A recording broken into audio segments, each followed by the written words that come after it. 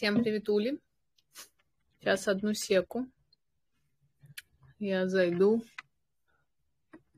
Ой, нет. Зайду в инсту.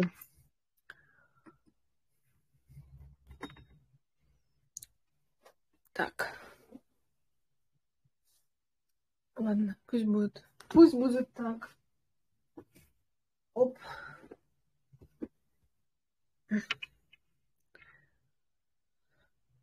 Так.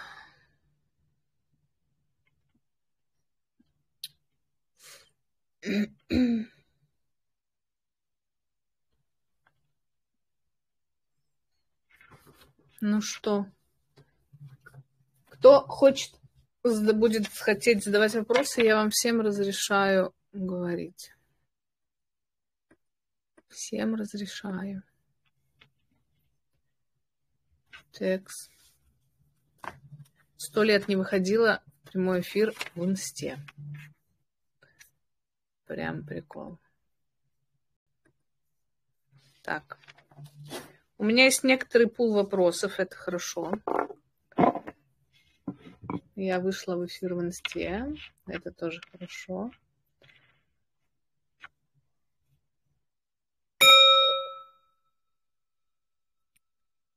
Открылись. Итак, ну что. Хочется, конечно, начать с того, а, что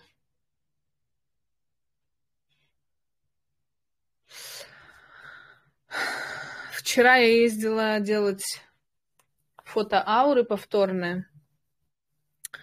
Вот, и хочется сразу сказать, что а, ну, аура стала совершенно другого цвета. Я специально хотела это сделать, потому что мне было интересно, какой будет результат. Вот, и будет ли он вообще, и, может быть, это все какой-то прикол. И оказалось, что... Где она, кстати? А, вон. И оказалось, что действительно очень ощутимая разница по энергиям вот. Если будет видно, вам сейчас покажу. Это аура за пару дней, как я уехала. Вот. А это аура, когда я приехала. Ну вот, когда я приехала. Ну, это типа две совершенно разных ауры, короче. Вот, даже так видно издалека.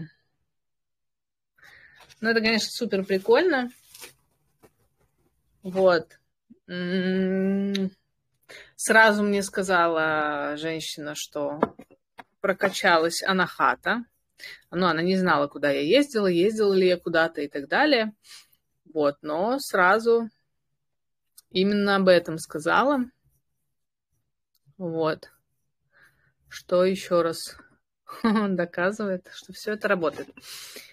Вот. Прокачалась анахата. И почему? Потому что мы там на ретрите как раз-таки работали именно над раскачкой анахата. У нас основные практики были на,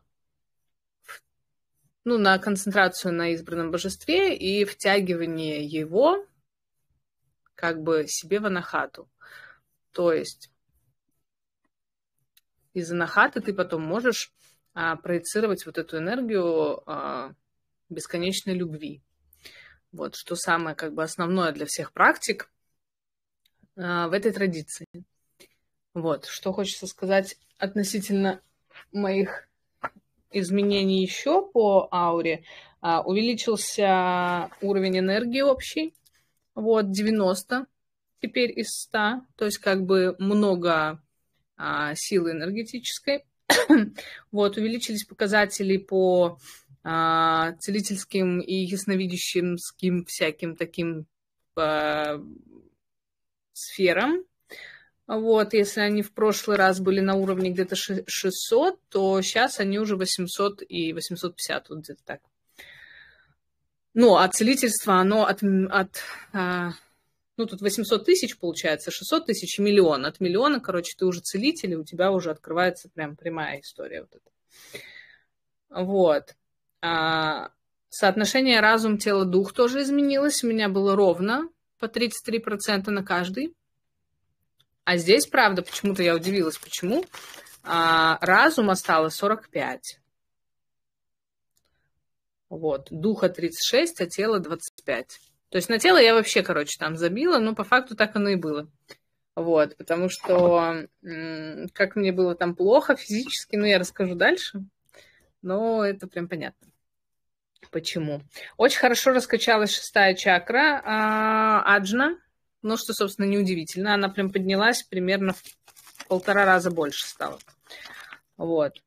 Заметно поубавилась, правда, из э, Сватхистаны, но мне тоже кажется, это э, все зависит от того, что концентрация была совершенно на других каких-то вещах.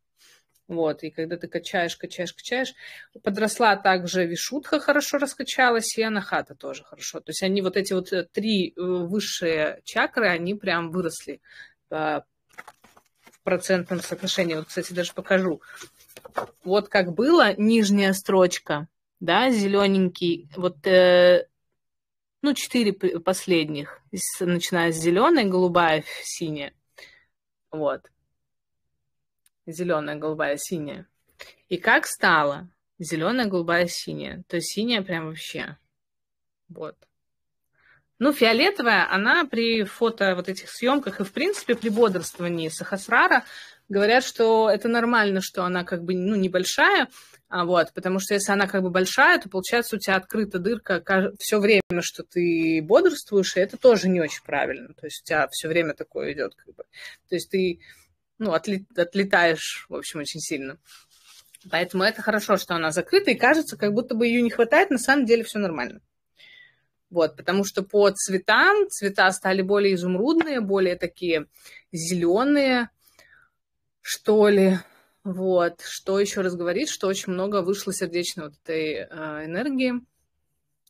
И она прям мощно прокачалась. То есть, как бы по факту, это фото подтверждает тот, э, то, что работа проведена успешно. То есть мы как бы над этим работали, конкретно над этим, и это произошло. Вот, теперь я могу уже начинать что-то говорить про вопросы. Фото ауры я рассказала. Вообще я всем рекомендую, кому а, интересен вот этот весь тонкий мир, а, вообще всем сходите и сфоткаться, потому что это супер интересно, ты сразу только про всего про себя узнаешь, что-то подтверждается, и от этого прям какое-то такое воодушевление, что ли. Это даже интереснее, чем, не знаю, узнать свой гороскоп. Ну, для меня, по крайней мере. То есть это именно то, что вот в тебе прямо сейчас происходит, и ты как бы эти, ну, не знаю, ты начинаешь как-то более тонко себя чувствовать, любить, наверное, даже больше. То есть ты понимаешь, почему ты вот где-то такой, а где-то вот такой, как-то больше. То есть гороскоп тебе как-то может сказать об этом более, ну, так, информативно, сухо для ума. А здесь ты это начинаешь чувствовать именно с точки зрения, наверное, энергии, поэтому оно как-то сильнее так воспринимается. Ну, мне, по крайней мере. Ну, не знаю, мне кажется, это всем должно быть интересно. Ну, тем, кто конкретно интересуется практиками и так далее. Вот. Так, начнем с вопросов. Начнем с самых простых вопросов. Как устроен быт в Ашраме? Быт в Ашраме устроен как небольшая деревня, как э, небольшое поселение, где есть часть домиков, где живут основная масса. Это такие, э, ну, небольшие а, домики, где твоя основная комната, келья, еще небольшая комната и прихожая, и все. Вот, по факту тебе там не нужно много места, у тебя нет времени а, что-то там, не знаю, на уборку, на ту же самую или что-то еще. То есть ты как бы приходишь на самом деле в келью поспать, проснуться, сделать какие-то, может быть, там чуть-чуть молитвы, э, мантры почитать или зарядку сделать и убегаешь. Все потому что я думала, как я изначально думала, что я поеду на ретрит. Окей. А у нас там заберут телефоны. Окей, мы не будем разговаривать. Хорошо. Значит, мы закроемся у себя в келье, скорее всего. Будем сидеть в келье в одиночестве. А у нас там поедет крыша, потому что мы не можем ни с кем общаться, ну и так далее. То есть у меня был большой страх того, что у нас, допустим, заберут телефоны, в том, что ну, как бы, а, в изоляции, а, мозг может себя повести по-разному, и он может там начать, не знаю, пугаться и так далее, и так далее, и от этого будут какие-то там очередные панические атаки, ну, в общем, что-то такое. На самом деле все было совершенно не так. А, но об этом я узнала уже только по приезду. То есть времени на свою вот эту внутреннюю рефлексию и самокопание вообще не остается. То есть ты настолько занят вот этим а, служением, вовлечением вот в жизнь именно с монашеской стороны, как бы, то есть потому что ты приезжаешь и сразу первым делом ты подписываешь а, ну, условный договор о том, что ты принимаешь э, все правила места, где ты находишься сейчас. То есть э, это значит, ты придерживаешься графиков, это значит, что ты ну, то есть там много-много пунктов, естественно, ты там никого не оскорбляешь, ты нормально себя ведешь, а, не приводишь каких-то там знакомых, друзей, никто к тебе не приезжает и так далее. Вот, все должно согласовываться с а, главным а, монахом или монахиней, вот, и тогда уже там какие-то вопросы будут решаться. В общем, то есть достаточно строгие правила, но в то же время за счет этого все очень предельно понятно. То есть ты а, приезжаешь, непонятно ничего, вот, ты ходишь за каким-то курирующим тебя человеком. Вот у меня был вопрос про, есть ли какой-то куратор. На самом деле куратора как такового нет, но как бы условный твой куратор получается тот человек, с которым ты обсуждала свой приезд или обсуждал. Вот. И ты как бы, ну, естественно, потому что только его пока что знаешь из всех, кто здесь присутствует, допустим, если ты едешь первый раз, и ты будешь ходить за ним хвостом, все спрашивать, а как здесь все устроено. И я рада, что я приехала за несколько дней до начала ретрита, и мы еще могли говорить, мы могли еще общаться, там где-то ходить, вот, узнавать вообще всю, как бы, местность, а, потому что если бы я приехала впритык, как я изначально хотела, первого числа, то это было бы супер тяжело. Ну, реально. Вот. Лучше всегда приезжать за несколько дней, ты тогда там освоишься, поймешь, там принюхаешься к местности, как ты поймешь, что происходит вообще, кому что говорить, там, допустим, кому что не говорить, а, кто где за что отвечает и так далее, и так далее, и так далее.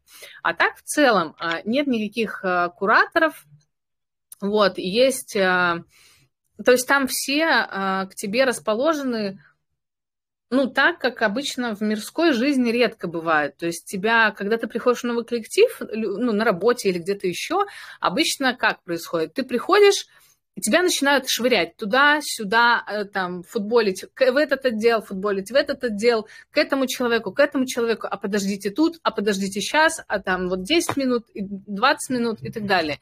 И ты как футбольный мяч туда-сюда вот так вот носишься, как бы, и ничего не можешь понять, и вот эта вот внутренняя тревожность, и, ну, и раздражение, естественно, начинает копиться. Вот, в редких исключениях бывает, что хороший коллектив, где тебя как бы ну, берут и начинают тебе там все показывать, рассказывать, и у всех есть на это время. Так вот, этот коллектив э, тот, который, в котором есть на это время. И они как бы, ну, не пренебрегают этим, не гнушаются этого и не раздражаются. То есть, в принципе, там создано такое поле, что ты там не испытываешь какого-то чувства вины или там, что ты спросил какую-то фигню, например, да, там, ну, тебе кажется, что, блин, ну, что я это спрашиваю, там, это же так понятно, а на самом деле тебе непонятно. Ну, ты как бы переживаешь, но можно не переживать, потому что ты не чувствуешь вот это обратно энергетического импульса от другого человека, что он считает тебя каким-то идиотом. Вот, там этого вообще нет, как нет чувства страха какого-то, тревожности, вот тревоги. Все страхи, ну, у меня есть свои специфические страхи еще с детства, вот, и, естественно, я их привезла с собой, и это было очень прикольное осознание, когда ты, э, ну, допустим, возьмем страх темноты, например, и когда ты остаешься там в темноте, ну, выключаешь свет, например, идешь спать, и на тебя пытается выбраться вот этот твой страх, да, как бы такой, типа, а, привет, мое время, да, пришло, он тебе так щелкает, и ты вроде как на него обращаешь внимание, а и понимаешь, что ты к нему ничего не чувствуешь. То есть он как бы есть как факт, как данность, да, он вот, ну, вот он так озвучен, да, как какой-то аватар, но внутри он вообще не наполнен ничем для тебя. То есть нет вот этой, то есть когда ты испытываешь какой-то страх в миру, да, то ты сразу как-то на него реагируешь. Кто-то реагирует, например, там, психосоматическими какими-то проявлениями, кто-то реагирует, не знаю, а, там эмоционально, еще как-то, у всех по-своему. Вот. То здесь ты вообще никак на него не реагируешь. У тебя ни соматика не реагирует, ни там ничего. То есть у меня обычно это все через тело идет. То есть я сразу где-то сжимаюсь, где-то начинает там чего-то, это сердцебиение и так далее. Вот. И здесь я вообще не заметила, чтобы такое было.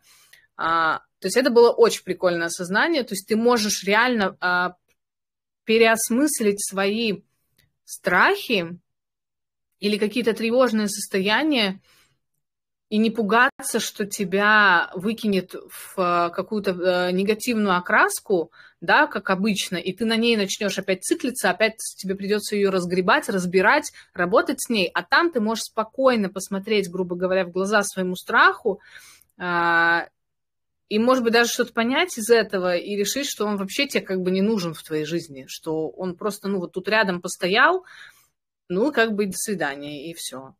Вот, это было очень прикольно, особенно, ну, вот как бы, как я тревожный, супер тревожный человек, для меня это было прям открытие.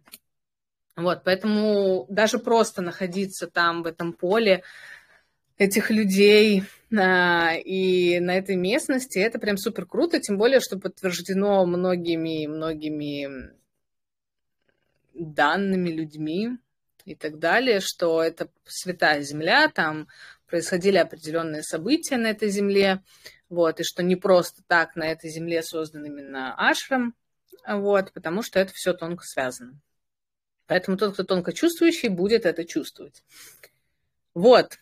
Это что касается быта. Быт устроен еще как. Там а, у тебя нет в келье душевой и туалета, тебе нужно переходить, то есть а, свои дома или а, душевые а, туалеты и так далее есть в основном только у управляющих.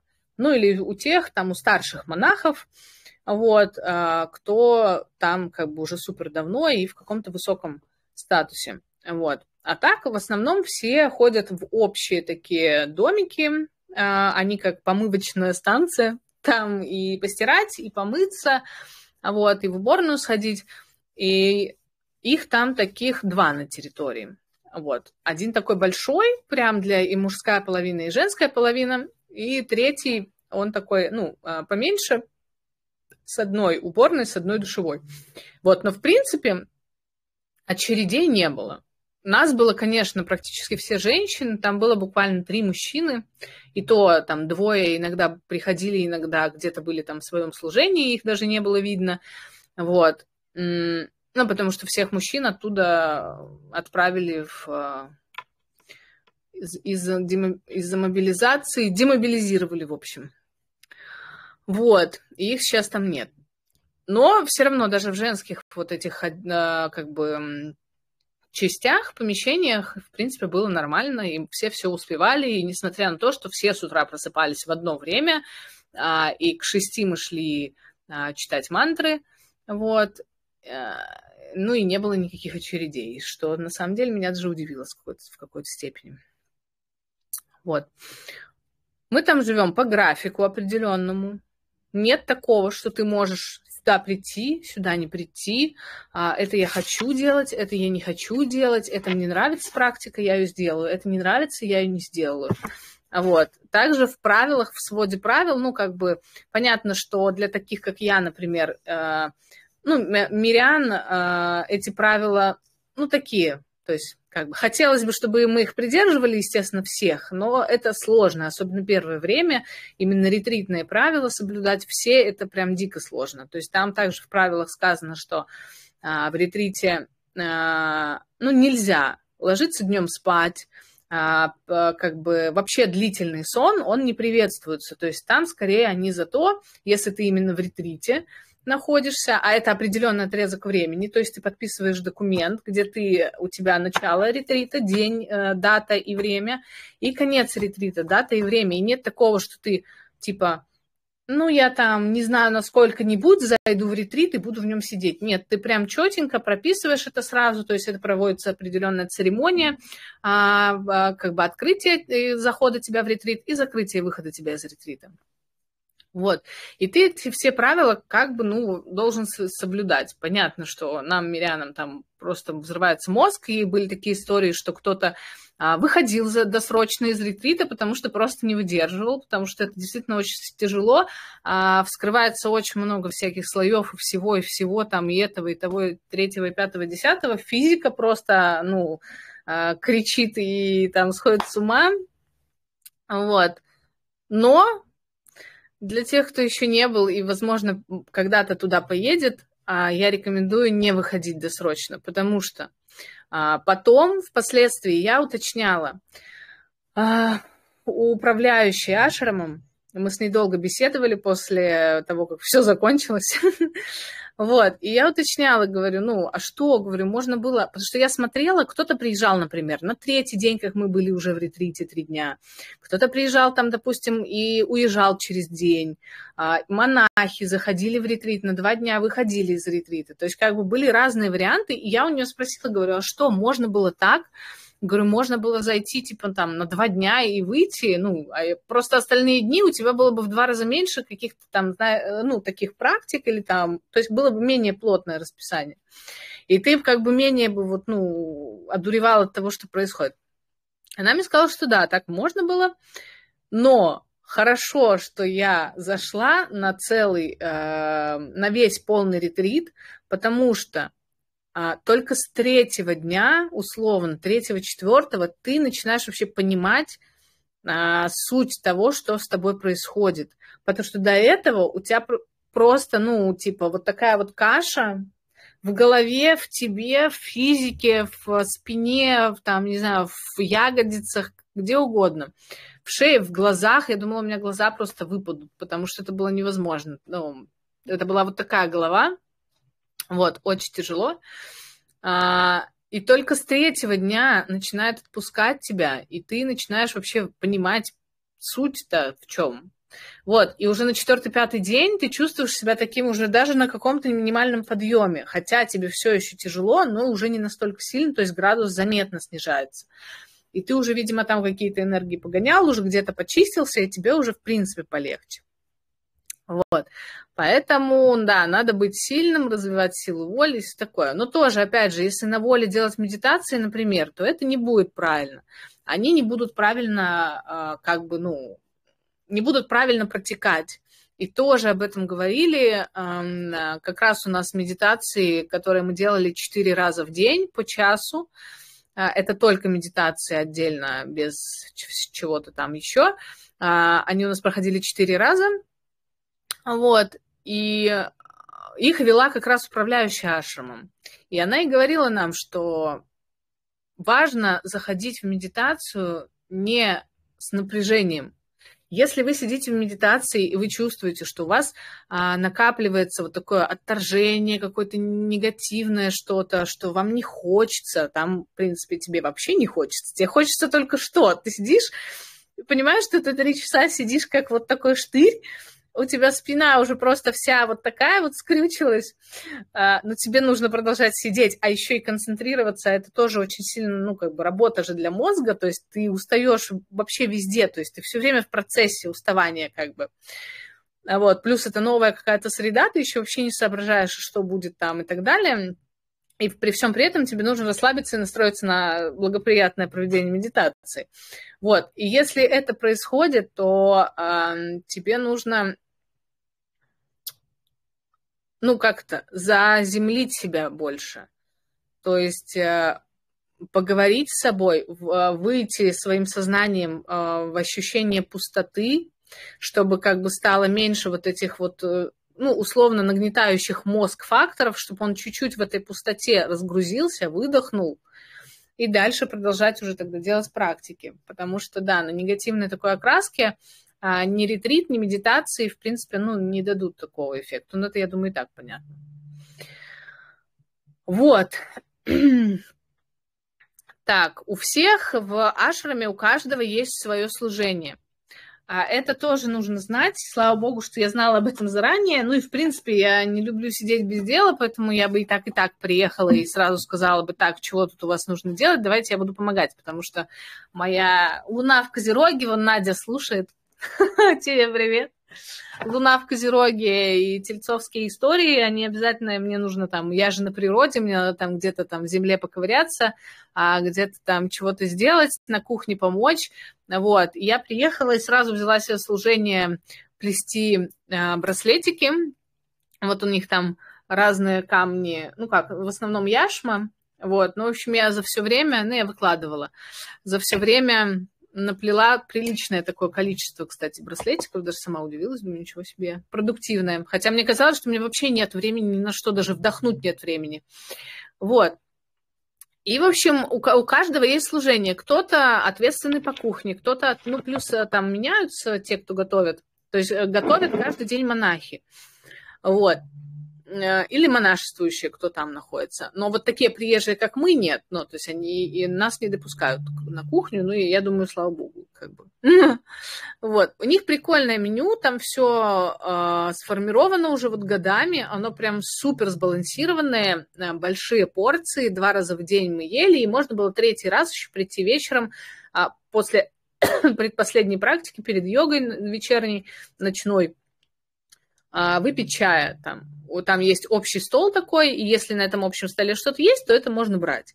Вот. А так остальная еда э, порционно, она раскладывается каждому на свое место. То есть ты всегда прикреплен к одному и тому же месту. Вот. Если что меняется, тебе э, тот, кто сегодня главный за кухню, он тебе говорит, что вот тебя пересадили вот на этот стол. То есть всегда, когда ты приезжаешь туда, ты должен уточнять на кухне, где ты, твое место, где ты сидишь. И опять же, если бы я приехала и сразу влетела в ретрит, то как? Ты приходишь и на пальцах там что-то там, ничего не соображаешь, а надо тебе что-то спросить или нет, садишься за чей-то чужой стол, ну, условно, да, там какая-то дурацкая ситуация получается. Вот. Несмотря на то, что чувство вины ты как будто бы не ощущаешь, но мы же еще не настолько продвинутые люди, поэтому я думаю, что на... таким, как мы, было бы сложно. Вот. Это что касается э, быта. Если куратор, я рассказала, там все в роли куратора. Вот. Каждый относится к своему служению очень ответственно. Там нет такого, что тебя кто-то подгоняет, кто-то тебе что-то напоминает, кто-то тебе что-то говорит. Да, тебе могут там спросить, да, там, то есть, допустим, ты что-то делаешь. Хотя у меня за все время ретрита никто не спросил, как там твои браслетики. Ну, типа, вот, я буду уезжать или закончится ретрит, и я сдам свое служение, и как бы вот, ну, и тогда будет понятно, как там мои браслетики. Если это служение, которое касается ежедневной какой-то рутины, вот, то тоже оно все время выполняется. Вот у меня была такая история, я приехала, получается, я приехала вечером, а, ну, перед сном уже практически, и был следующий день, и на следующий день мы заходили в ретрит. То есть у меня был один такой свободный день, где я там еще такая могла туда-сюда походить, все поизучать. Вот, и я походила, поизучала, э, уточнила, где тут стиральная машина, чё, где можно стирать. Мне сказали, вот стирай на этой черной машине. Я такая, окей, хорошо. Я вхожу в ретрит на следующий день, э, понимаю, что мне уже надо что-то там перестернуть, собираю манаточки, иду к черной машине, загружаю эту черную машину, короче, иду что-то типа там делать еще, и понимаю, что эта машина черная начинает течь. А, вот этот шланг, который сливной, да, он там где-то чуть выше машины прикреплен, и из него вот так прям фонтаны во все стороны. Я думаю, так. Интересная история. Это был поздний уже такой достаточно вечер, уже когда не все бегают где-то там туда-сюда ходят, а уже когда все по кельям. Я думаю, так, я хорошо, я уже не могу ни, ничего говорить, и что мне делать? А вот, слава богу, а, Омна Махшивая пришла а, монахиня, вот, причем совершенно случайно, что он там делал, непонятно, но, видимо, пришла меня спасать, потому что мой запрос был настолько сильный, что невозможно было его не услышать. Короче, она пришла а, и говорит, так вот, нужно же было стирать на белой машинке. А я ей не могу объяснить, что мне-то сказали стирать на черной. Откуда же я знала, что надо на белой? Мне сказали, что белая сломана. Ну, думаю, ладно, уже как бы хрен бы с ней, с этой машинкой, уже надо что-то делать сейчас с этой ситуацией. В общем, и она пошла, говорит, я позвоню тому, кто ответственный за стиральные эти машины, все за эту штуку. И буквально через три минуты приходит девочка, которая вот ответственна, вот ее служение, оно как раз-таки берет вот сферу вот этой вот, э, ну как сказать, да, бытовой хи химика, химо химической, ну вот, в общем, этой всей истории. Вот. И она пришла буквально через три минуты, и давай мне помогать. Она еще была не в ретрите, она еще разговаривала, вот я там что-то ей мычала, там на пальцах показывала, что вот как бы оно вот так вот само случилось, я не знаю, что за фигня. Вот. И ну, как э, в обычной жизни это было бы? Тебе бы дали тряпку, или там ты берешь тряпку и начинаешь драить, да, потому что ты как бы развел всю эту историю, ты за нее отвечай. Я пытаюсь брать тряпку, э, на что она мне говорит, нет, не надо, я сама это все сделаю и уберу. То есть вот такое отношение там к своему служению ты никому не перекидываешь свои ответственности, ты ни на кого не перекладываешь, ты не там можешь, конечно, попросить, там вот были ситуации, мы, а, так как этот ретрит был приурочен к определенной дате, к празднику, то он был прям супер плотный, и помимо всех основных практик, которые у нас были в расписании, а, мы а, целый день а, на протяжении вот всех этих пяти с половиной дней начитывали мантры. То есть мы проспали в 6 утра, в 6 утра начинался, начинались мантры, и с 6 до 6 вечера, или до 7 иногда, вот, мы читали мантры в отдельном зале. Вот, и получается, мы каждый час сменяли друг друга. То есть даже если мы где-то там на каких-то практиках э, что-то делаем, медитируем, то мы все равно в свой час встаем и уходим э, туда читать мантры, потому что, ну, прерывать эту цепочку было нельзя. Вот, и а, вот были такие ситуации, когда, допустим, тот, у кого много служений разных, а, не успевал, например, к своей мантре, и его подменял кто-то. Но тут как бы такая ситуация, что ты вынужден да, это сделать. Но и опять же, никто не соглашается так, что типа, ну ладно, я, конечно, тебя в этот раз выручу, но вот следующий ты там меня 10 раз будешь выручать. Вообще нет такого. Ну, и, и понятно, что это уже как бы такое вот именно мирское вот это отношение наше, да, что мы настолько привыкли, что тебя все время, ты никого не можешь спокойно о чем-то попросить, потому что все что-то не хотят, там, все недовольны, все не удовлетворены, это я не хочу. Ой, я, конечно, тут работаю, но я не знаю, зачем работаю. Ну, вот эта вот вся история. И первое время это, конечно, большой диссонанс создает, что ты ну, как бы такой думаешь, а что, так можно было? Реально можно было так относиться к вещам, ну, типа, спокойно, а, принимать их, любить как бы то, что ты делаешь, и не делать вот этих личик как люди любят эти личики там делать и все остальное. Вот, это прикольно. И опыт этот прикольный. И вообще я рекомендую его всем перенимать, потому что тогда, уже даже тогда наша жизнь будет становиться лучше. Потому что если ты понимаешь, если отдаешь себе отчет в том, что ты должен делать это, потому что ты как бы человек, развиваешься, движешься, то это будет совершенно ну, другой уровень даже твоей жизни собственной. Вот, это круто. А если ты косякнул, нет никакого чувства вины. Никто не смотрит на тебя волком, типа, ты косякнул, ну все. Или там, не приглашайте ее сюда больше никогда. А, были, ну, не, не, ну, такие, не знаю, насколько серьезные или нет, но были косячки у тех, кто там очень давно, а, кто уже прям супер долго в монашестве, проходит какая-то практика ритуал, кто-то что-то куда-то не туда занес или там поднес, поставил и так далее. А вот тебе просто спокойно говорят сделать так, как нужно. Все. И нет потом этого такого вот, опять же, тяжелого состояния, что вот у тебя там чувство вины из-за того, что ты где-то косякнул. Потому что все могут косякнуть, вот так прикалывается сансара. Вот это самое прикольное в этом всем для меня было. Вот. График у нас вот был, как я уже сказала, с 5 утра до 10 вечера. А, где-то в 10-10 мы заканчивали последнюю йогу. А в 5 утра уже вставали, все вставали в 5.30, я вставала в 5, потому что у меня собака. Вот, у нас было два приема пищи и, получается, два перерыва между вот этими всеми делами. И, получается, первый перерыв был полчаса. Я бежала, естественно, гулять собаку, потому что в 5 утра мы там с ней успевали выбежать на минут 10 там каких-то и бежали обратно, 15, может быть. Вот, потом я опять бежала гулять с собакой, а, хотя дико хотелось просто упасть и лечь спать где-нибудь в сугроб, чтобы можно было ближе идти потом. Вот. Второй был перерыв после второго приема пищи, а, ну вот он уже был достаточно приличный, иногда полтора часа, иногда час. Вот. Но опять же, у тебя есть служение, которое ты должен делать. То есть ты тоже не можешь каждый день взять там, да, и каждый день спать, потому что ты не можешь. А вот ты должен понимать, что тебе надо делать служение. Плюс а, я на обучении, и мне нужно еще делать вопросы какие-то закрывать по обучению подготавливать. Плюс это время вообще прописано не как перерыв, что ты там ходишь и нюхаешь цветочки, хотя это, в принципе, может быть тоже возможно. А, это изучение учения. То есть ты должен читать тексты, изучать какие-то вопросы, которые ты не понял, например, на практиках сейчас или там еще что-то такое. Вот, я набрала там все тоже много книг, в библиотеке, там есть библиотека, да, что круто. Я переживала, надо ли мне брать свои книги, потому что у меня и по обучению тоже есть книги, но они тяжелые очень, и мне не хотелось вести. И слава богу, там есть библиотека. Ну, как бы, вообще это, наверное, логично. Вот.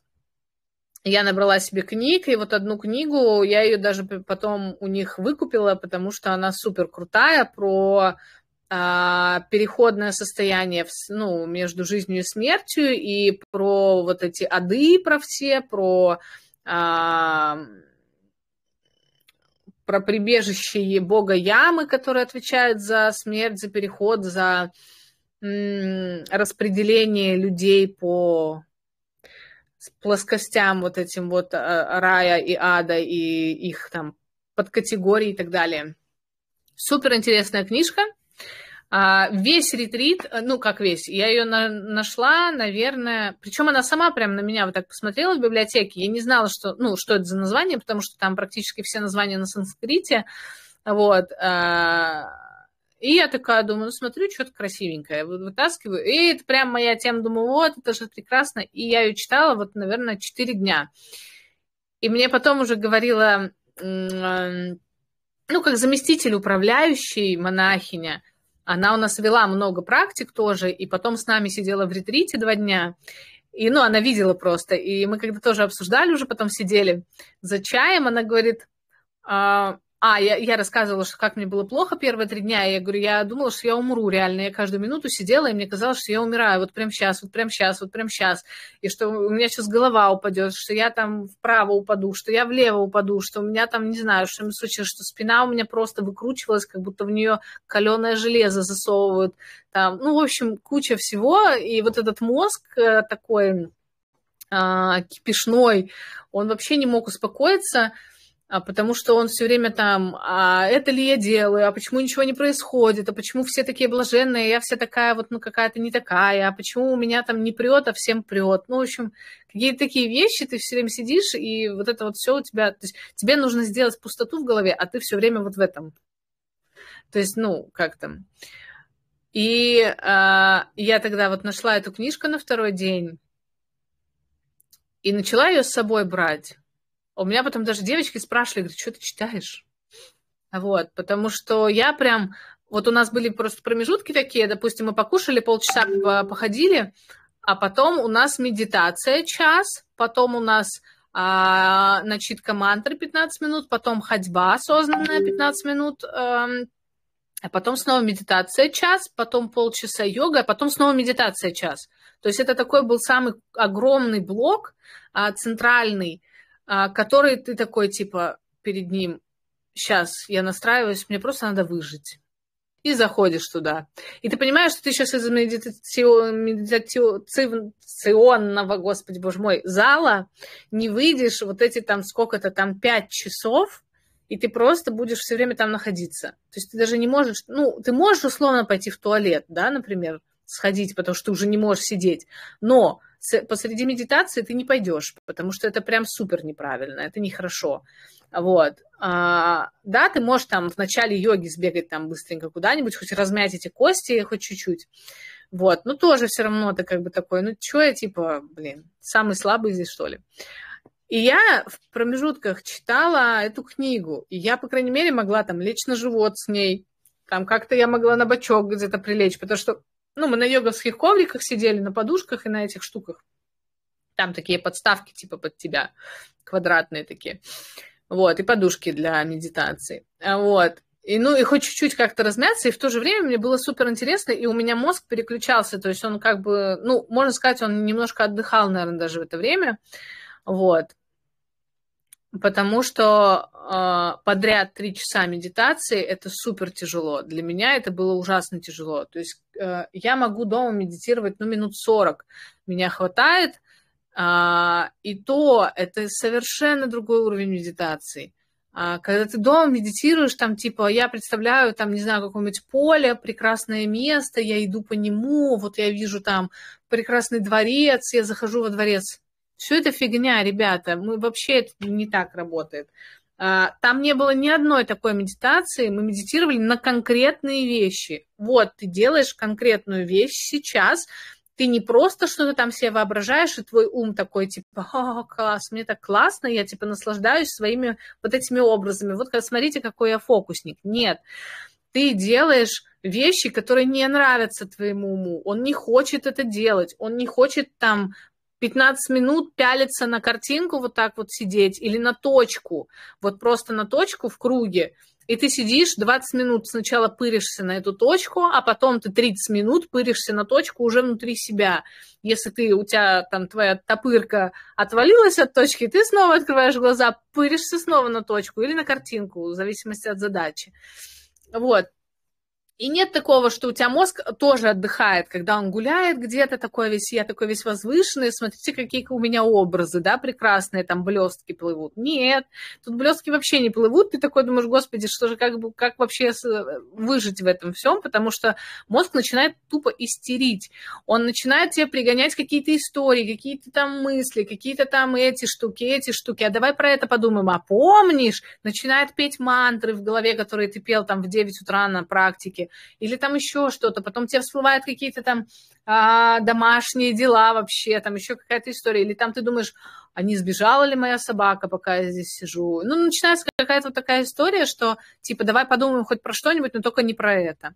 И это самое сложное, потому что ну, как бы, да, это рассеивание вот этой концентрации и напряжение очень сильное.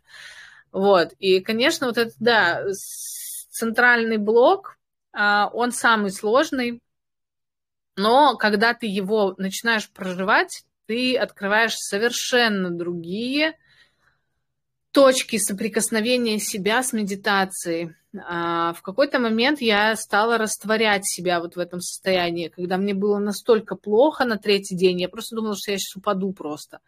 И я уже не хотела ничего делать вообще. А, просто дайте мне, пожалуйста, поспать или просто лечь, или просто упереться куда-нибудь головой и не знаю.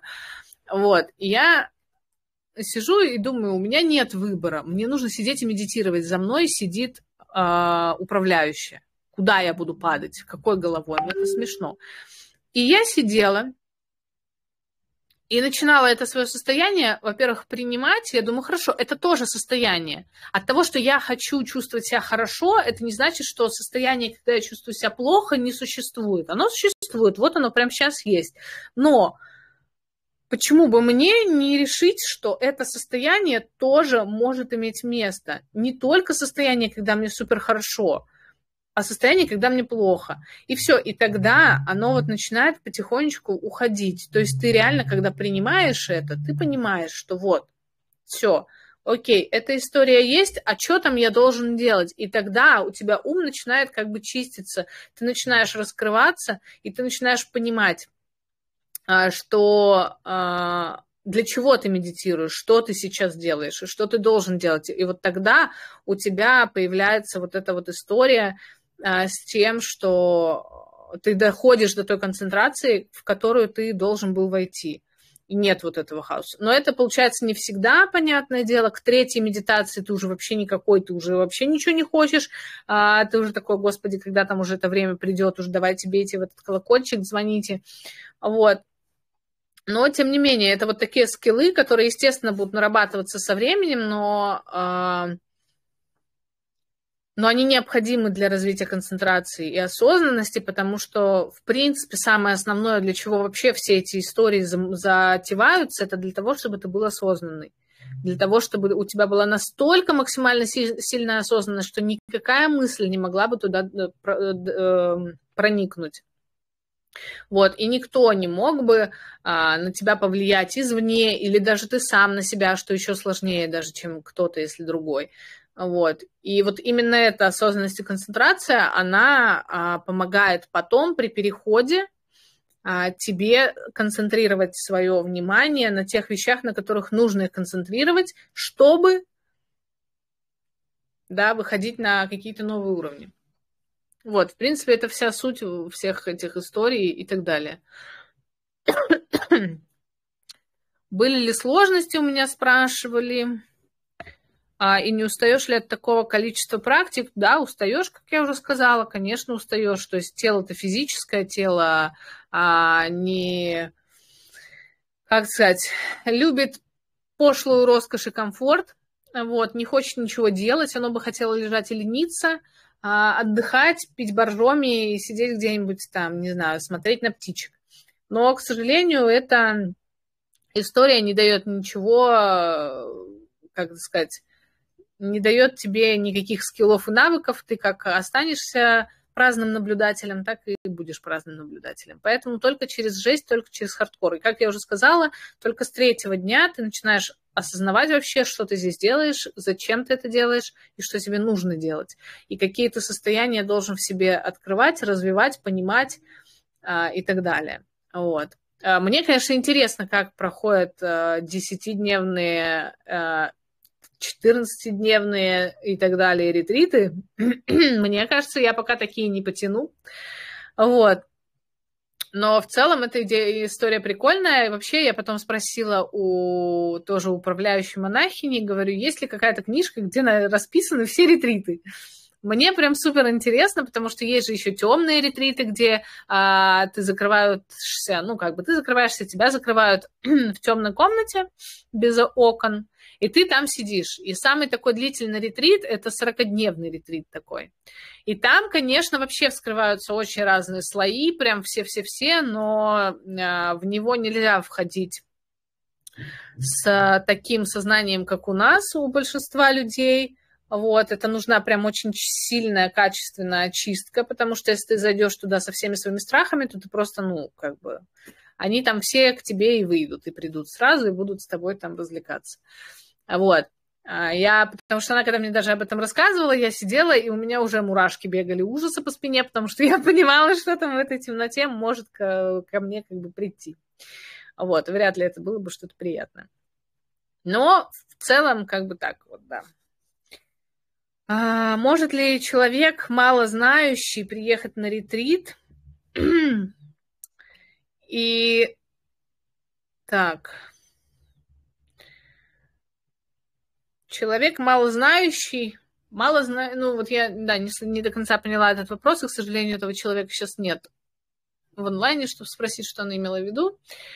Я думаю, что человеку мало знающему и мало понимающему, в принципе, про суть а, задачи, которую он хочет добиться и решить, к какому результату он вообще идет и какой результат э, несут эти практики, я думаю, ему не, не стоит ехать. Э, на такой ретрит, потому что, ну, это будет издевательство над всем, над его психикой, над его физикой, и вряд ли этот человек что-то поймет. Я думаю, именно такие люди выходят, э, ну, выходят из ретрита раньше положенного срока, вот, потому что они просто не выдержат, у них нет мотивации, у них нет понимания, для чего я здесь, для чего я терплю все эти муки, почему я должен страдать, когда там, не знаю, мои друзья сидят и плюют семечки и радуются, да, там, жизни и смотрят сериальчики. Вот. То есть, если нет глубокого осознавания, то лучше туда, конечно, не ездить. И это не какой-то советский ретрит, который мы сейчас принято а, на каждом углу а, видеть анонсы, что вот там мы с вами уедем на 10 дней в коттедж, будем сидеть в коттедже, не знаю, тоже, да, там пить боржоми, пускать пузыри, два раза в день медитировать, а потом сделаем много фоточек, и вы вообще будете кайфовать.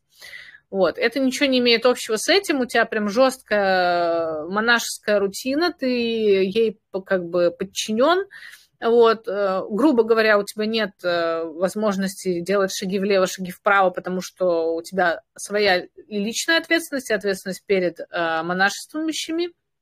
Вот.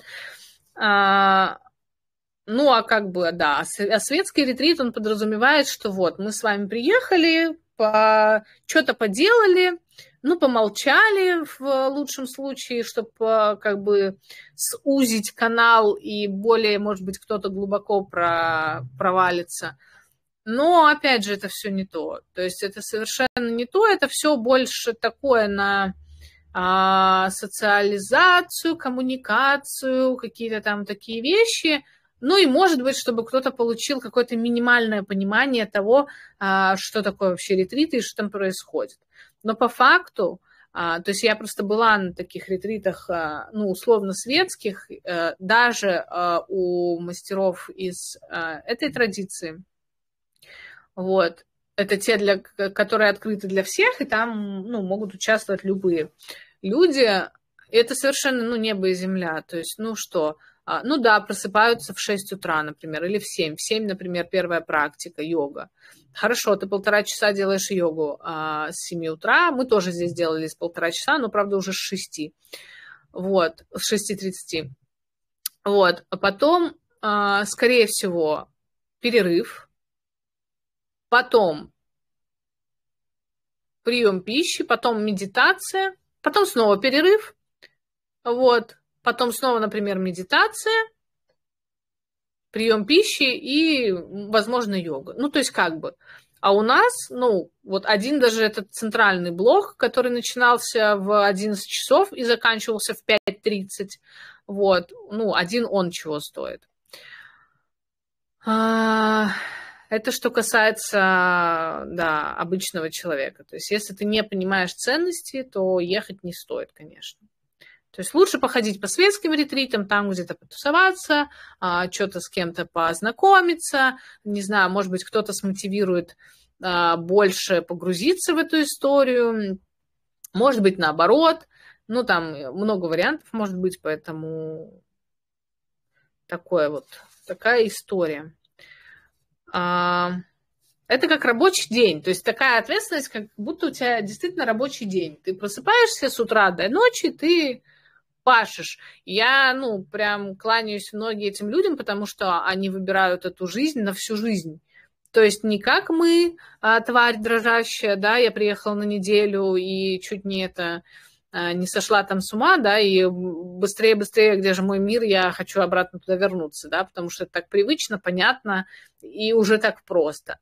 Вот. А эти люди идут по этому пути всю жизнь, и они понимают, они отдают этому отчет, и завтра, и послезавтра, и после-послезавтра в их жизни будет все так же, в таком же расписании, в таком же графике. То есть, да, не в ретритном, возможно, но тем не менее у них есть графики ретритов, когда монахи выходят в ретриты, это обязательно. А у них есть определенное количество дней в месяц, которые они уходят в ретрит. Вот. А, и они как бы, да, несут эту историю через всю свою жизнь.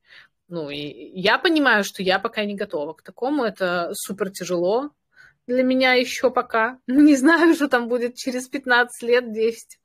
Вот, но пока так. И, конечно, я думаю, что кому суждено попасть в такое место или в такой э, опыт, тот обязательно туда попадет. Вот, потому что Вселенная всех нас слышит, естественно. А, нужно просто лучше загадывать свои желания, более конкретно.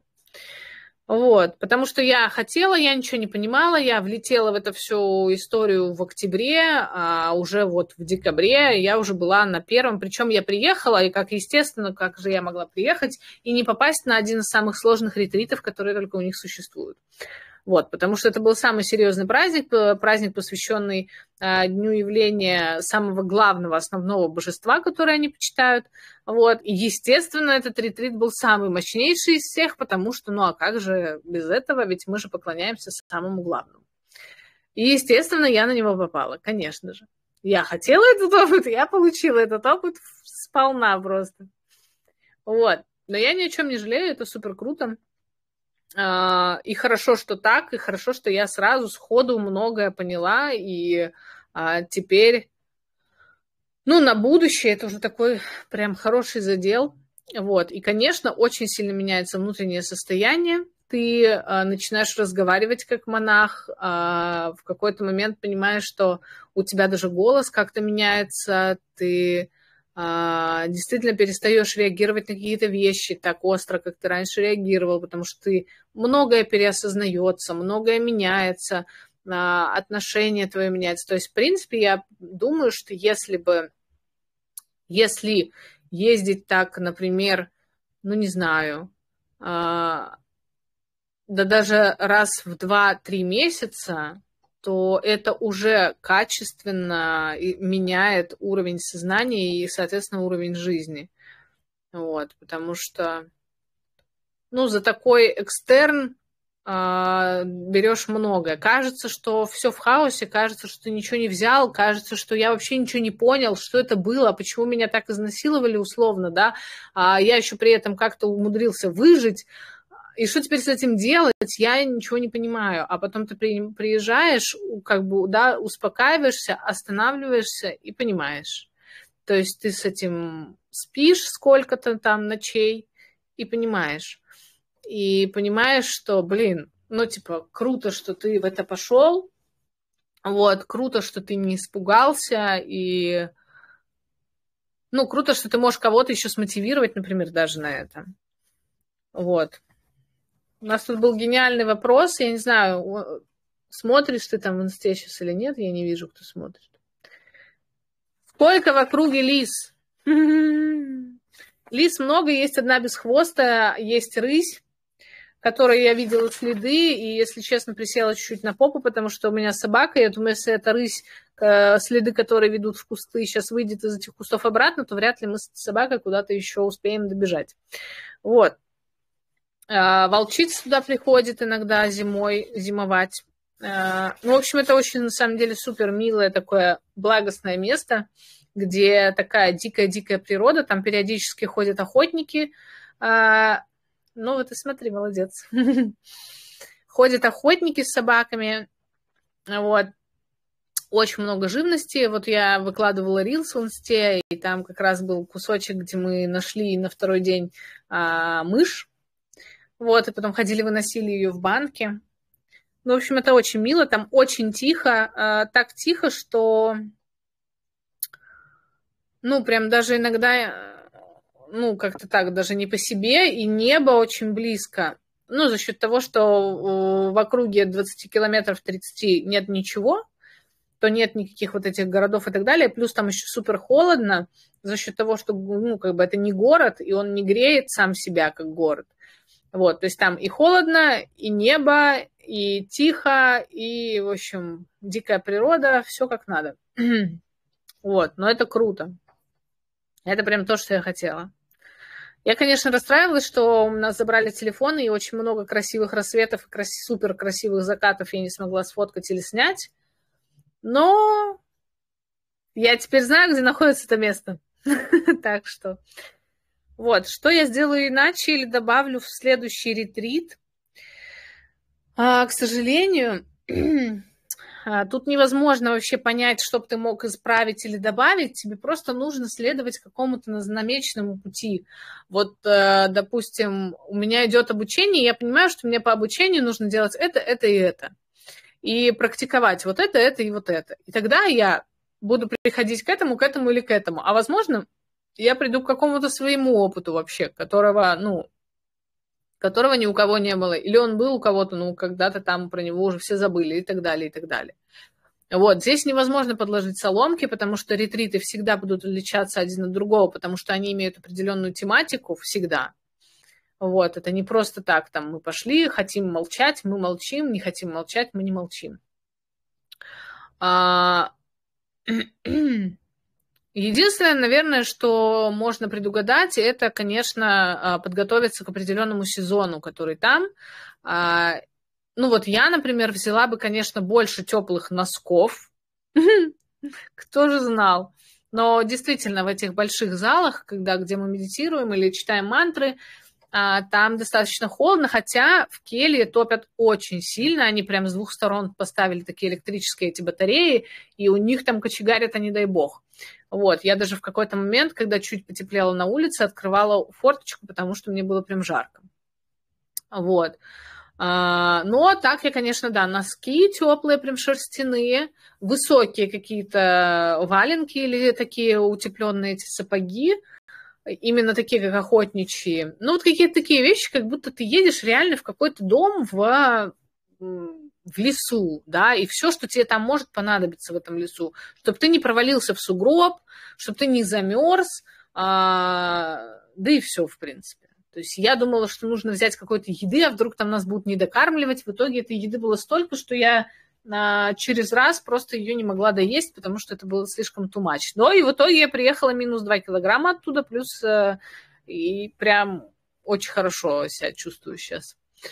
Вот, э, питание там, естественно, вегетарианское, но по питанию, кстати, нюансик, который я хотела как раз рассказать. Они едят творог, они едят а, масло сливочное, а, топленое масло, если на то есть особые причины, там оно используется в ритуалах. Вот, а, молоко пьют. То есть, ну, не каждый день, как бы, это такое, типа, не ты приходишь а, ну, типа, не ты приходишь там, да, и берешь из холодильника, то есть там нет такого. То есть сегодня, допустим, утром тебе дают гречку и стакан молока теплого. Ты можешь, допустим, налить эту гречку, молоко в гречку, либо выпить так, либо там кофе себе, цикорий, вот у них вместо кофе, кофе себе сделать а, с молочком. Ну, то есть как бы какие-то такие истории. Вот, это прям было приятное удивление, потому что творог был несколько раз, и он причем был разный, зерно они дают, и такой, как бы более такой пластовой, вот. А, ну и в принципе, то есть как бы такое очень сбалансированное меню, там очень много орехов, а, каждый день идут э, практики и ритуалы, и а, туда же делаются подношения из эм, фруктов в основном, либо сладостей. Сладости тоже, все ручной работы только. Они все делаются монахинями. Вот к вопросу о а, еда эко-френдли. Я не знаю, выращивали ли они сами, вряд ли. Скорее всего, это все закупается в магазине. Ну, где ты сейчас будешь выращивать зимой э, эко-френдли, что ты будешь выращивать. Э, у них есть несколько, как его зовут, теплиц, вот, но я не видела, что там кто-то сейчас что-то делал. Я думаю, что это летняя история. Вот. И, ну, то есть, как бы в плане еды и в плане быта какого-то, того, что тебе нужно, ты по факту понимаешь, что там тебе ничего не нужно особо. Тебе настолько много всего нужно в этом городе, в, в, в, это, в этой жизни своей, а туда ты приезжаешь, у тебя еще как забирают телефон, тебе вообще ничего не нужно, тебя вообще ничего перестает что-то касаться. Ты думаешь, боже, а зачем я раньше вот это, а вот это? Зачем? Это все такая ерунда. И вот оно как-то вот так вот все переваривается, и ты действительно приезжаешь сюда и уже вообще по-другому на все смотришь. Тебе хватает там покушать два раза в день и больше не бегать, не кусочничать. А, то есть это как-то выравнивает даже вот эти пищевые привычки а, и там всякие, наверное, РППП, которых у меня, правда, никогда, слава богу, не было, но тем не менее, да, то есть там схватить кусочек из холодильника сам Бог велел обычно. Вот. Ну, то есть, э, как бы все аспекты у тебя как-то подравниваются там.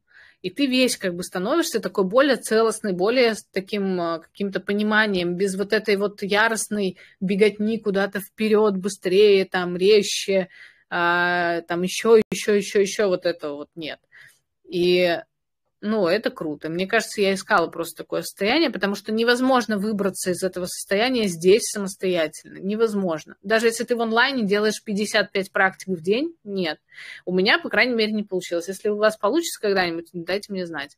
Вот. Потому что это очень сложно. Пока ты не сменишь картинку, пока ты не сменишь окружение, пока ты не сменишь, и из-за этого у тебя сменится образ жизни – ты попробуешь сам его по-другому прожить через непринятие сначала, потому что тебе будет не нравиться, ты же привык, я же привыкла вставать там в 9 утра. Почему? А я здесь стою в 5, мне так тяжело, у меня болят глаза, голова, и так далее. У меня как раз на третий день накопилось э, очень много вот этой усталости от ранних подъемов, и у меня прям очень сильно заболела голова к вечеру. И я подошла тоже как раз к управляющей, говорю, можно я сегодня не пойду на вечернюю йогу? Ну, как я подошла, записку написала, потому что нам нельзя было общаться. Вот. И она говорит, а вы уверены, что это, ну, ваша голова, а не ваша лень? И я понимаю где-то внутри себя, что да, я больше хочу лечь спать чем у меня болит голова. Ну, то есть, как бы, а, понятно, что можно было сказать, вот, но мы же должны там высыпаться, это же так важно для нас. А с другой стороны, я что приехала туда? Высыпаться. Я приехала туда получать определенный опыт. Высыпаться я буду дома. И я приеду тогда домой, буду там высыпаться. Ну и, конечно, я собрала себя в кучу и пошла на йогу вечернюю, и ничего, нормально. Вот, как-то так. Эм. И вот, собственно, поменялось, что в повседневной жизни поменялось на самом деле, ну, по моим ощущениям, для меня очень многое. Очень многие вещи перестали иметь значение эм,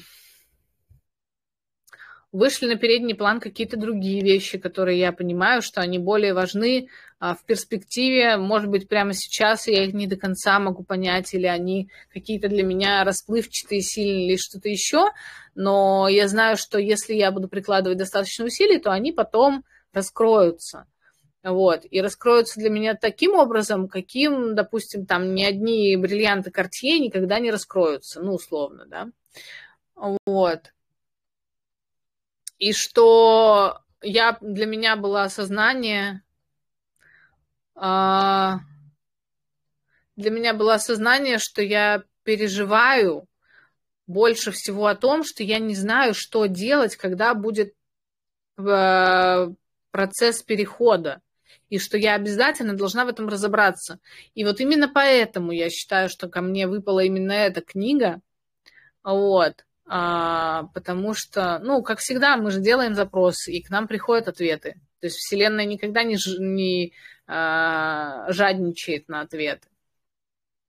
Вот. И я поняла, что если я прям хорошо разберусь, буду понимать, ну, как бы достаточно хорошо, приемлемо для себя, разберусь с тем, что нужно делать и как, куда идти, это как, ну, правило дорожного движения, то ну, прям вот это вот пока моя цель, наверное, на ближайшее время. Вот, из таких глобальных каких-то тонких задач. Чувствуешь, что можешь корову поднять? Нет, там не чувствуешь такого. Ты там чувствуешь на тонком плане, что ты можешь корову. В тонком мире поднять корову можешь. Вот. Тебе в физическом мире не хочется корову поднимать. Зачем? Вот, но насыщение от еды чувствуешь гораздо больше, чем э, когда ты питаешься здесь в городе. Я приехала, и мне стало так невкусно есть. Здесь настолько мертвая еда. Когда там, учитывая, что она часть из нее освещена на практиках, а, ну, а часть, в принципе, готовится а, по определенным каким-то правилам, да, канонам и в определенном состоянии, то здесь мне было настолько все невкусно. Мне и сейчас до сих пор все невкусно. И она такая тяжелая. Она какая-то вот, ну, не такая вообще. То есть ты там чувствуешь очень много жизненной такой вот этой силы внутренней, которая тебя поднимает и несет. Но мы все, Надюш, готовимся к переходу. Ну, я имею в виду переход из жизни в смерть. Ну, для меня это самый вопрос, который меня беспокоит э, с самого детства. Что там будет? Я не позволяла себе никогда упасть в обморок, потому что я не знаю, что я там буду делать по ту сторону обморока. Ну, у меня такая история просто. Это какие-то мои уже а, таракашки. Вот. Да, тортики тоже невкусные. Вообще ничего не вкусное. Ну, мне прям очень как-то, не знаю. Я не знаю, как это исправить, потому что оно никак не исправится. Это только ехать и, не знаю, на практиках ставить свою еду возле дверей. Вот. А, но по факту это так. Да, и воздух, конечно, и все остальное. Это ты кашляешь. Я приехала в Москву и снова стала кашлять. А, хотя там вообще ничего такого не было. Ну, так, какое-то остаточное было, такое чуть-чуть першение иногда. Но такого, чтобы как здесь, это, конечно, вообще небо и земля. Вот, что еще раз доказывает, что человек, конечно, должен жить на земле а, и максимально себя окружать прям чистотой и порядком продуктов и всего остального. Вот, а с переходом я разберусь, я думаю. Вот, но это такое. Это уже мои какие-то штуки. Вот, но в целом вроде все рассказала. Я вела там дневник, хорошо, что я это делала, потому что я бы ничего не запомнила, э, и я, у меня было очень много вопросов к управляющей, вот, и много инсайтов разных. И хорошо, что я их все записывала, иначе я бы ничего не смогла потом вспомнить. Там столько всего происходит. А еще я, пока мы вот читали эти мантры в течение пяти дней, вот по 6, по 12 часов, я в какой-то момент из дней обнаружила, что на алтаре стоит четыре статуэтки собак, и эти собаки вылитые арии. И я решила, что это знак, что надо, чтобы... Предложила, в общем, управляющей, говорю, если надо будет собачка, вы мне там это... Маякните. Она мне даже сказала попросить показать фотографии. Так что, возможно, это сумасшедшее животное когда-нибудь обретет свой дом, где-нибудь в святом месте, что, конечно, для меня было бы очень неожиданно. А еще... ей. Да. А еще вообще мне сказали, что это интересно. Все были очень удивлены, что я а, поехала туда с собакой. Это первое вообще в истории этого ашрама э, случай, когда туда кто-то приезжает с собакой. А меня очень долго управляющая уточняла, как же мы будем, как же она будет меня ждать, а как же вот ты же, вы же будете уходить с самого утра и будете очень поздно возвращаться. А будет ли она выдерживать? И в итоге а у меня потом все спрашивают, а где ваша собака-то? Ну, они видели нас, когда мы периодически гуляли днем, например, выходили, когда все, у всех перерыв. Вот. Но это тоже было не, как бы не каждый раз, и не все видели, потому что кто-то своим служением занимается, кто-то еще что делает, кто-то там читает. Вот. И они такие, а где ваша собака? Она, я говорю, она медитирует там в келье. А что еще делать? Хозяйка медитирует, собака медитирует. Вот. Но я просто знала, что она нормально справится. Че, какая ей разница, где ей лежать? Собака должна спать 16 часов в день. Вот она и спала у меня на природе. Но а, мне сказали, что это у собаки особые заслуги. Вот какие могут быть заслуги у собаки? Это так тоже интересно, конечно. Какие вот у нее заслуги? У нее уже заслуги с того момента, когда она ко мне попала, мне кажется. А тут они уже раскрылись. Так что если еще и это чудище, горынище, каким-то случайным образом попадет туда. Много людей соскакивали, не выдерживали. Ну, я не уточняла количество, но есть такие, да, случаи. И, ну, я так понимаю, периодически они происходят, потому что, ну, она рассказывала как прям про такие свежие какие-то истории, что прям люди прям, типа, говорят, нет, это не для нас такая вся эта тема, что вы тут делаете, это же можно сойти с ума. Вот. Так что в одну из суббот мы слушали на медитации вот на точку как раз музыку очень красивую. Вот тогда у меня тоже шибанули инсайты, я поняла, что я, конечно, прям полный аудиал, у меня сразу начинаются на музыку какие-то там вообще прям супер красочные истории в голове. И опять же я поняла для себя, что откро... медитировать с открытыми глазами это супер круто. Я поняла, как это, и поняла, что это спасение, когда ты не можешь сконцентрироваться а, вот в таком физически сложном состоянии, в каком была я первые три дня. Когда у тебя голова спит, пытается спать, вне зависимости от того, что ты делаешь. То есть, ну, а, у тебя даже глаза, может, и не закрываются, но у тебя голова вообще, ну, то есть у тебя внутренний взор закрывается, то есть ты внутри спишь как будто бы. И это такое, ну, сложное состояние, потому что тебе нужно концентрироваться на объекте медитации, а ты не можешь это сделать. Вот, и тогда вот ты открываешь глаза, и с открытыми глазами уже начинаешь на объекте. И уже в какой-то момент ты тогда переходишь вот в это тонкое поле, и там уже начинаешь смотреть. Но глаза у тебя э, между тем все равно э, открыты. Вот, это тоже такой прикольный опыт. Вот. А... Свободное время, я уже рассказывала, было оно или нет. Было... Свободного времени почти не было. Было два перерыва, только полчаса и полтора часа, полтора часа или час. Вот. Кружков по интересам, там тебе и так хватало кружков по интересам, потому что никто ничего не, не успевал. Чаши поющие использовали только для, для озвучки, для старта начала вечерней медитации, и все.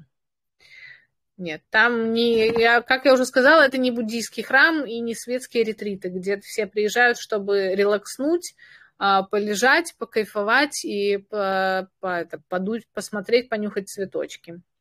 Вот, там люди приезжают, чтобы мощно работнуть над своими, ну, как бы, над задачами, которые тебе ставятся, и вынести какой-то реально практический опыт из этого, а не какие-то там разглагольствования на тему, что вот я классно отдохнул, подышал воздухом, походил, фоткал рассвет. Нет, ты там прям работаешь, работаешь. Это прям реально работа, я теперь понимаю, что им нужно еще, конечно, и зарплату платить за такой адский труд, которым они занимаются. Потому что, да. Вот, я думаю, на этом можно заканчивать, потому что я уже полтора часа тут вещаю. И думаю, что, наверное, если у вас уже больше нет вопросов, то я бы и пошел. Батарея у телефона села. У меня тоже садится. Ладно. Раз вопросов больше нет. Что дальше что? Дальше, дальше только выше. Дальше больше. Так, ладно, буду завершать тогда. Все, всем спасибо за участие. Я надеюсь, все сохранится. Какие планы дальше? Спасибо. Пожалуйста. План, ну, какие планы? Много планов.